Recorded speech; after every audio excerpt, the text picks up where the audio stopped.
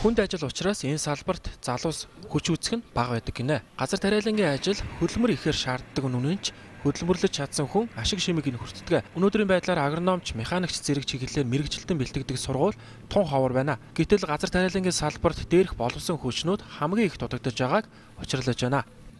Ингээд яамны зүгээс бол а энэ тал дээр нь хөрөнгө мөнгөөр нь дэмжиж явах юм бол залуучууд хөдөөд бол ажил амьдрал байна. Одоо Солонгост очивол эхнэр хүүхдээ хаяад 2 3 жил тийм ээ 2 сая төгрөг авах гээд ингэж яхаар энд бол төмс ногоо тариад ингээд амьдрах юм бол гэр бүлээрээ амьдрах юм бол хөдөөд бол залуучуудын хувьд бол маш их том боломж байна.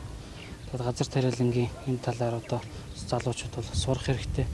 Одоо залуучууд нэг эдийн засагч хуульчулна гэж бушуурдаг байсан бол тэр маань бол одоо сар тоцорч байна шүү дээ. Өнөөдрийн байдлаар газар тариалангийн салбарт Атрын 1 болон 2 дугаар аян буюу талаас 80 оны үед ажиллаж ирсэн трактор компани механикч нар ажиллаж байна. Гэтэл шин дэвшилтэд технологи, ухаалаг техник хэрэгслүүд ашиглаж байгаа өнөө үед түүнийг ажилуулах мөн тариалалтай холбоотой стратеги төлөвлөгөө шин санаачлаг гаргах мэрэгжилтэн дутмаг байсаар байна. Үүнийг бодлогоор шийдэх шаардлагатайг аймаг орон нутгийн удирдлагаас онцолж байна.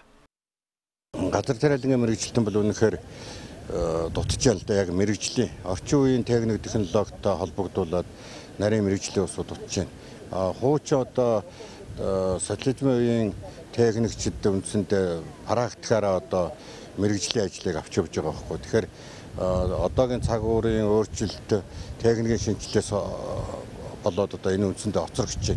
Тийм учраас төр засгаас одоо бас бодлогоор агрономуудыг их сайн бэлтгэж өгөх хэрэгтэй байна. Техникчдийг одоо инженер механикжуулагчдыг их сайн бэлтгэж байна. Ерөөсө социализмын гол бодлого тэр байсан.